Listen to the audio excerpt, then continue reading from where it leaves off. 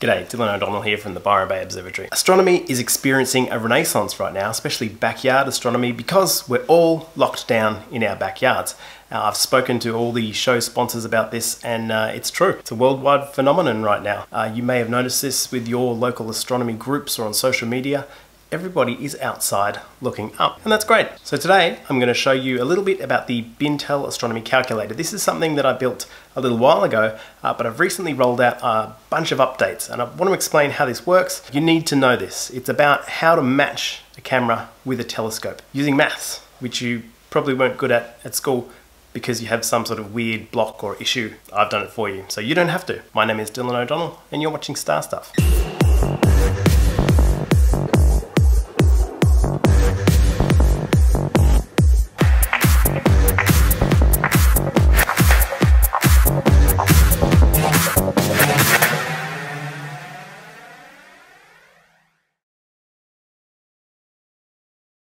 Before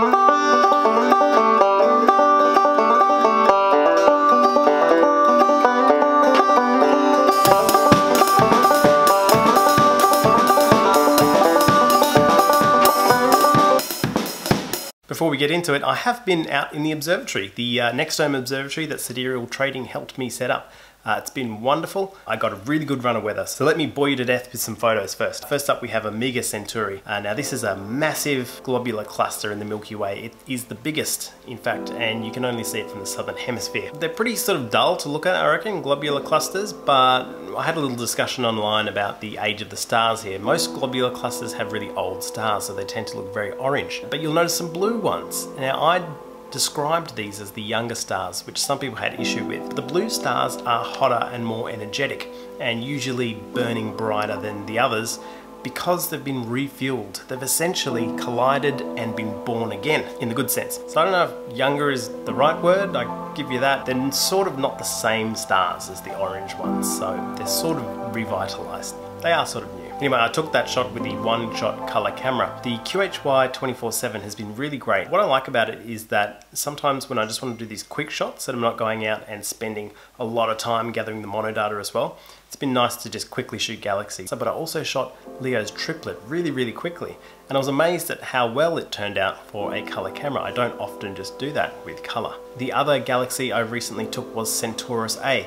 Again, this was super quick using the Celestron RASA 11. 75 minutes of integration, one minute subs. Quickly knocked this over with the one shot color camera and it turned out pretty good, I reckon. Uh, there's a lot of detail in there, even though the field was really, really wide and this is a smaller galaxy. I was able to expose a lot of the outer detail, which you don't normally see in images of this galaxy. I also released an 8K version of the Carina Nebula. Now this is one where I have combined data from the ZWO 1600 with the color camera another true color image. This Carina mosaic that I did is two panels, roughly in the same configuration as one I'd done in the past, uh, but I kept seeing this image because it's been used by Celestron at uh, events, so you might have seen it as the background at NEAF last year. When it's blown up that big, I was going up to it and I was seeing all the little artifacts and things I hadn't cleaned up properly, so I just wanted to do this image all over again. Another one I grabbed was the Statue of Liberty Nebula. This is a cool nebula just around the corner from Carina. Sort of outshone by Carina, but it is a cool looking object. Uh, definitely some star formation going on in there.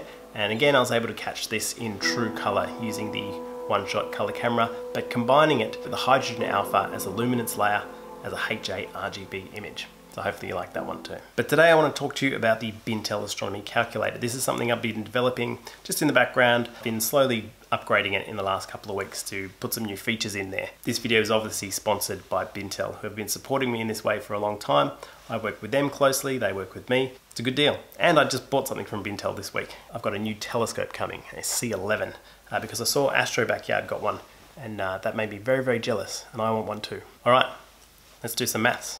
All right, so here's the uh, Bintel website, which is just bintel.com.au. You can obviously use this from anywhere in the world, of course. Uh, we'll go to the, I've developed a few tools, but we're going to the Bintel Astronomy Calculator. The last iteration didn't really have pre-filled telescopes or cameras. You could still put in all the settings as you liked. It didn't just pre-populate these. So we've actually pre-populated them now. And this is drawing them directly from the inventory of the store, which I think is really cool. So I'll choose my 11 inch RASA here. You can see it gives me some basic information without even putting in anything else. It already calculates the uh, aperture, the maximum magnification. I probably need to round off that that number. The resolving limit, which is about half an arc second, and native focal length, which is what we know anyway. But now the real fun comes in when we choose a camera. Well, let's choose the ever popular ZWO 1600mm, and you'll see here it gives us a preview target of the moon. It shows us how big the moon is going to look on the camera chip. It gives us the camera chip field of view in degrees. It tells us the resolution that we're sampling at. And we want the ideal resolution for sampling to be between this 0.67 arc seconds and 2 arc seconds. And this one's 1.26 arc seconds. So see exactly what the field of view is and whether we are actually getting that arc second per pixel and it tells us the sampling is good and if we hover over gives you a little tooltip about what this means uh, it means our stars are going to look not too blocky not too blurry, just right, just in the middle, which is perfect. You can see the effect if we change cameras here. So let's go down to this color camera. There we go. So this camera is a smaller chip. And because it's a smaller chip, we see more of the moon. Let's fiddle around because it doesn't end there. The other features I've rolled into this is, for example, we have eyepiece. I have 14 mil on 50 degrees field of view. So there we've got a simulation of what the eyepiece will see, what the camera chip will see. Fantastic. And the great thing about this is we can go ahead and add a reducer, so um, or a magnifier. Now you wouldn't use a Barlow, in fact you can't use a Barlow on a Schmidt astrograph. So let's swap over to my new telescope, uh, which is the Edge HD 11. Okay, that 11 inch telescope is getting me much closer to the moon now. You can see we're zoomed right into the surface here, both on the eyepiece and the camera chip. Um, and it doesn't have to be the moon. We can change targets here. Let's try Omega Centauri. This is the other upgrade I made to the calculator was that I now have visual targets with which to orient ourselves with.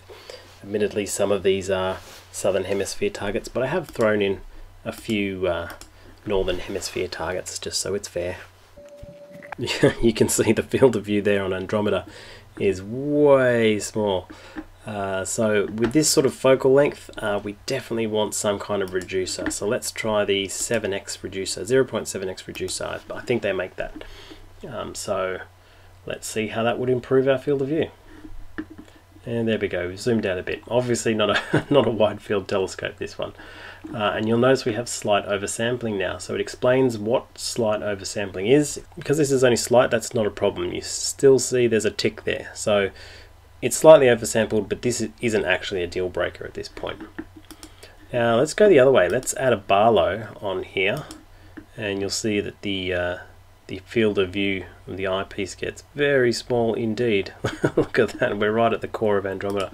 So let's change up our um, target now to something smaller, say a planet. Now we've got a great region here, we can see exactly how large Jupiter is going to be on the camera chip. Much smaller chip, better view. But the good thing about this list is it actually pulls out you can see all the micron sizes here, you can see all the resolutions.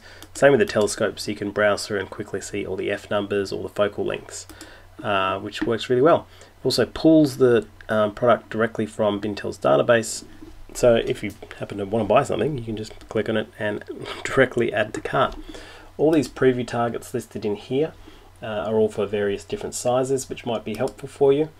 And there are the targets by scale that allowed me to actually just lay them out in code so you can see how big things are relative to each other. Because we're going from the really small, like Saturn here, over to the really large like Andromeda. And uh, it's interesting to see whether your telescope can do a big range of these or just a few of them or do you need to buy a new telescope? Just for fun at the bottom I've put Bintel customer favorites.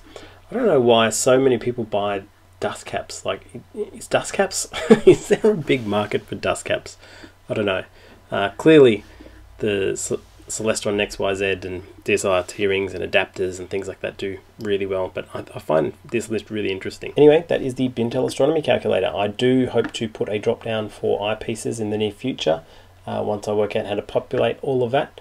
Do give it a go and let me know if you find any bugs, and hopefully this will help you get the best combination of telescope and camera in the future. It's worthwhile having a play.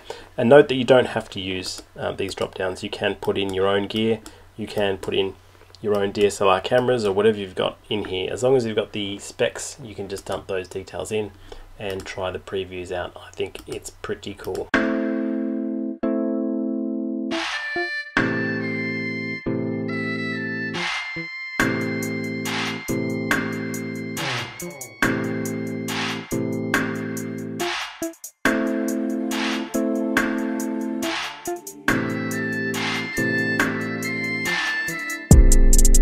I hope you enjoyed that video and I hope you end up spending a lot of money that you really shouldn't, but you should because astronomy is amazing and we are all addicted.